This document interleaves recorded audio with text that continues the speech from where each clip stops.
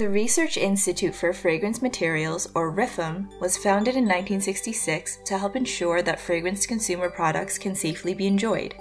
The key to RIFM's mission is its safety assessment program. Safety assessments are toxicological evaluations of individual ingredients used for their fragrance producing properties. RIFM's current series of safety assessments follows a set of criteria developed in 2013 to take advantage of the latest internationally accepted methodologies and avoid animal testing. Since the publication of its criteria document, RIFM has saved more than half a million animals. RIFM's research program has been committed to developing and confirming new non animal methodologies for more than a decade. RIFM's safety assessment process begins with the prioritization of fragrance ingredients. First, we group materials with similar structures and toxicological profiles and review all available current and historical data.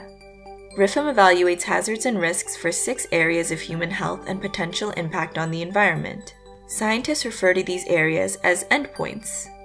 The endpoints include genotoxicity, repeated dose toxicity, reproductive toxicity, skin sensitization, photoirritation and photoallergenicity, local respiratory toxicity, and environmental toxicity.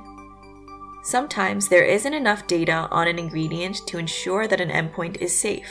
In those cases, we may use data for a chemically similar stand in ingredient. This internationally accepted methodology is called read across because scientists read data across from one ingredient to another. If we cannot identify an appropriate read across stand in, our next step is to determine whether the exposure to the ingredient falls beneath the threshold of toxicological concern, or TTC. The TTC was first conceived in 1990 in a review of the US FDA regulatory policy on food additives. Because fragrance ingredients are used at such low levels, most of them fall comfortably below the TTC. Read across and TTC are just two of the cutting edge methodologies and tools RIFM uses to avoid testing on animals. The expert panel for fragrance safety, an independent body of academic experts with no ties to industry, reviews and must approve all RIFM safety assessments. Panel members are experts in different fields of toxicology, dermatology, and chemistry. Founded in 1967, the self governing expert panel provides additional scientific authority and objectivity to RIFM's work. Once the expert panel has approved a safety assessment, it is posted to RIFM's database for the use of members and other database subscribers, and it is then submitted to Elsevier's Food and Chemical Toxicology Journal for peer review, adding another layer of objectivity to RIFM's work. RIFM is committed to the complete transparency of its work. That is why all of its peer reviewed safety assessments are available through a partnership with Elsevier via the Open Access Fragrance Material Safety Assessment Center.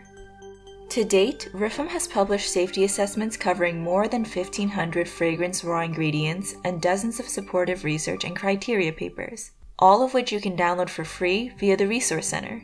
RIFM expects to have published safety assessments for all known fragrance raw ingredients currently in use by the end of 2022. Got a question for the Research Institute for Fragrance Materials? Visit our website at rifm.org or send us an email to rifm at rifm.org.